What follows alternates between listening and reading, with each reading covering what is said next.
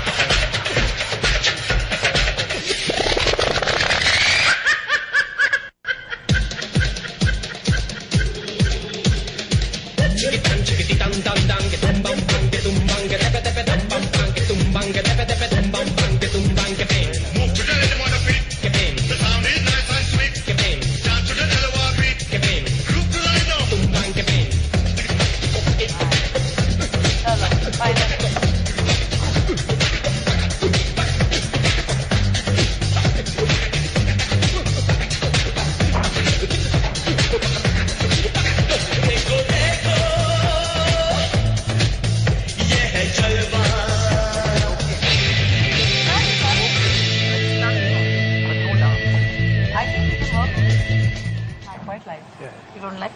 Mithun.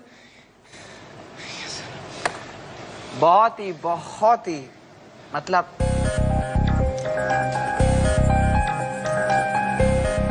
बहुत अच्छा स्टंस किया आपने। थैंक्स फिनिशिंग अच्छी थी। वेरी निम्बल एकदम स्विफ्ट वेरी गुड देखते हैं आपकी किस्मत चमकती है कि नहीं। Geeta? Uh, Mithun, I am very very happy I love your performance मुझे अच्छा लगा। बहुत energy stunts very good dancing almost there can be worked on मेरी तरफ़ से। रुक रुक रुक मेरी तरफ़ से किधर? किधर? कोथाय हम्म, कोथाय जाचो तुम्ही। टोपी लेनी कितनी जल्दी है? मिलेगी नहीं बिल्कुल भी। प्रेजेंस भी राज़ी है गीता जी भी राज़ी हैं। लेकिन आप ना बोलोगे तो फिर कुछ नहीं होगा। सो प्लीज़ मुझे एक चीज़ आपको बोलनी है। ये जो आपने स्टंट्स किए थे पहली बार किसी ने स्टंट किया है जिसमें हमको आवाज़ नहीं आई फ्लोर पे। हाँ। Very soft on your toes whenever you do half touch you go on your toes चार बार हाफ़ टच करने के बाद फोर टाइम आप स्ट्रेट खड़े हो गए। Which is very good excellent लेकिन आपका जो डांस है आ,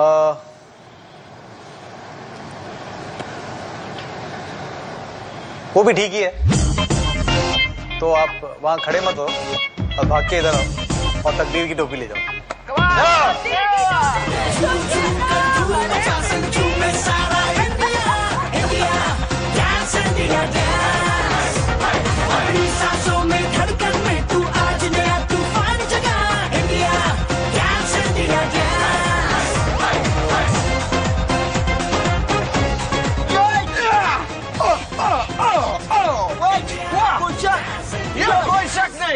Congratulation very good performance and मिलते हैं मुंबई मेगा ऑडिशन में। याद रखना बहुत टफ है वहाँ पर। हाँ और भी प्रैक्टिस करना पड़ेगा। बहुत प्रैक्टिस करनी पड़ेगी ओके तो मिथुन दा का नाम रखना ओके ओके, सर। तो एक और बार फिर से।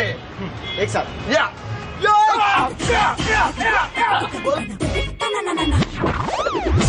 क्या बात है?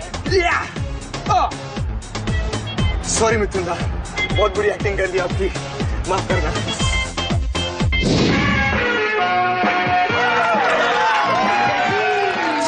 जय भैया, आप कम से कम ये तो मान गए कि मिथुन दा का डांस स्टाइल कॉपी करना आसान नहीं है। मगर कोलकाता में उनके प्रति दीवानगी ऐसी है कि यहाँ के हर घर में मिथुन चक्रवर्ती बनने का सपना लिए कम से कम एक नौजवान ज़रूर सोता है।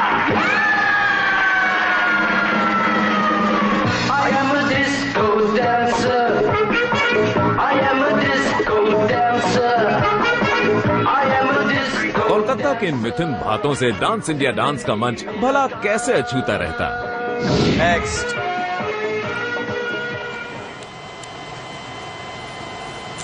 साउंड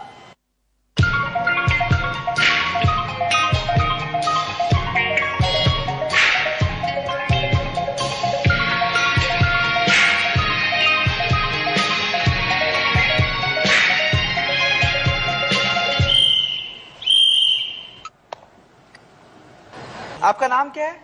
वीरेश चक्रवर्ती। अच्छा आप किसी और चक्रवर्ती को जानते हो? हाँ मेरा मामा श्री है। हाँ? कलकत्ता का मशहूर वो मिथुन दा हाँ। आपके क्या है? मेरा मामा जैसा लगता है क्योंकि मामा जैसा मामा? जैसा लगता है मामा है। अपना तो नहीं है। अच्छा। इसीलिए जैसा है। आप उनको तो- रिस्पेक्ट करते हो? बहुत। बहुत? हाँ। तो फिर ये मेरे जान से भी प्यारा है। और मैं उनका कॉपी करता हूँ मतलब डांस का नहीं। और जो अच्छा? है? सब कुछ। अच्छा आप उनके उनका कॉपी करते हो। चलो एक कॉपी करके दिखाओ चलो। अबे सलाम मरबे खाने लासपुर में शोषाने इन द भोगप मा मने मायर भोगे।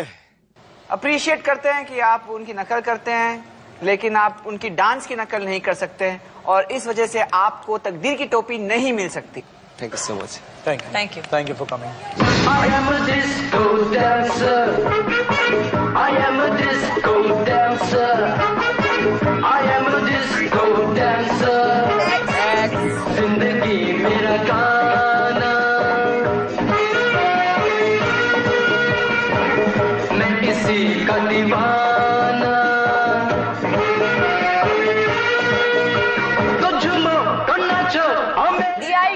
तरफ़ से नो। ये है इंडिया के पहले डांसिंग स्टार का जादू जिसने हमारे अगले कंटेस्टेंट गुवाहाटी के विजय सिंह को डिस्को डांसर बना दिया।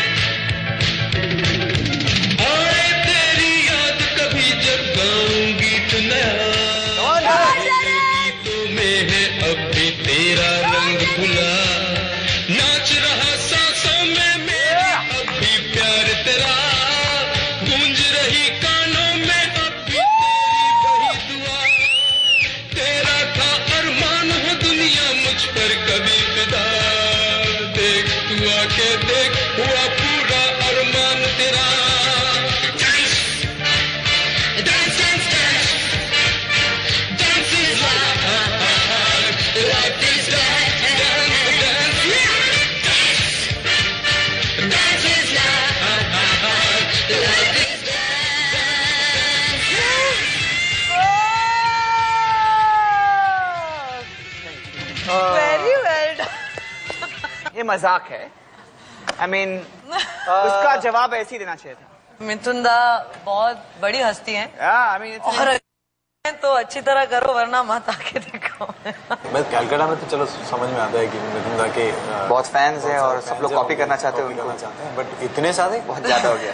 ओवरडोज ओवरडोज चलो ठीक है। हमारे अगले कंटेस्टेंट को भेज दो प्लीज़ वन मोर स्टाइल देखो। One more. आपने अभी बोला था ना। है ये भी वही डांस करेगा देख लो।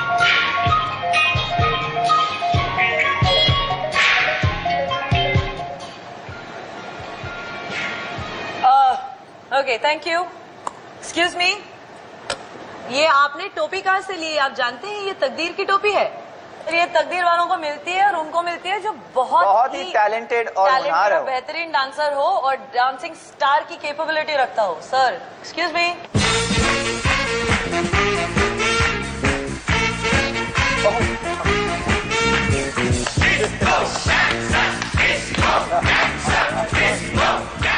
sorry sir हम लोग तो चौक गए sir I am so sorry sorry. Sorry sir I am so so sorry sorry sir हमने इतने सारे कॉपी. किए थे इसलिए।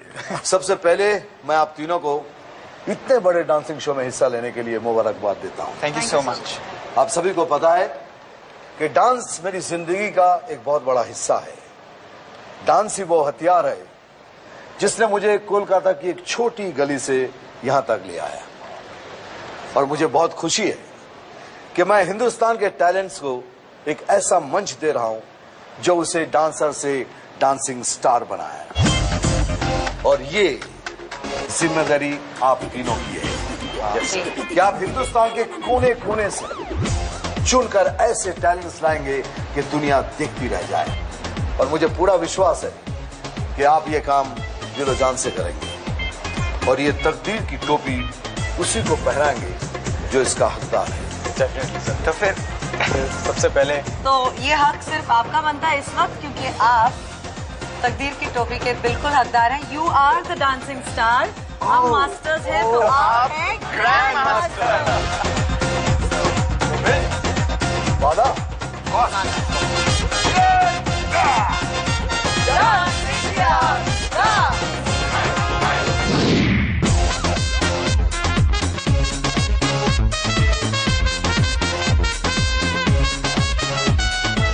मास्टर्स के ऊपर बेस्ट डांसिंग टैलेंट ढूँढने की ज़िम्मेदारी सौंपने के बाद ग्रैंड मास्टर मिथुन दा ने कंटेस्टेंट्स की हौसला अफजाई भी की, क्योंकि उन्हें पता है कि बिना हौसले के कोई जंग नहीं जीती जाती।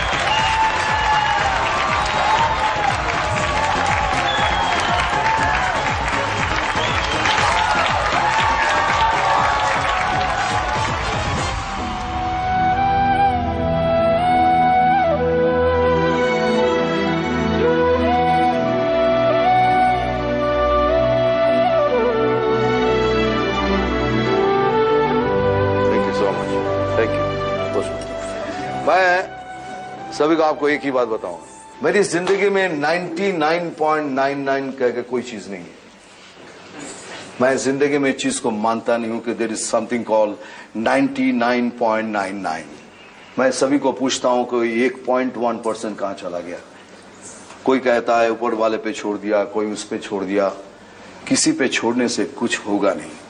ये पॉइंट वन भी आप ही को देना पड़ेगा। और जब पूरे हंड्रेड परसेंट दोगे तभी आप भगवान से या डेस्टिनी से मांग सकते हो कि हमने अपना काम पूरा किया। और हक से तभी मांगो कि आप तुमको देना ही पड़ेगा। और ज़िंदगी भर मांगो। This thing in mind always in your life तो ये सोच के नहीं बैठना कि कोई गॉडफादर आएगा, बनाएगा। खुद ही को मजिशियन बनना है। खुद ही को गॉडफादर बनना है। खुद ही को स्टार बनना है। मास्टर्स के ऊपर बेस्ट डांसिंग टैलेंट ढूँढने की ज़िम्मेदारी सौंपने के बाद जाते जाते मिथुन दा ने सभी कंटेस्ट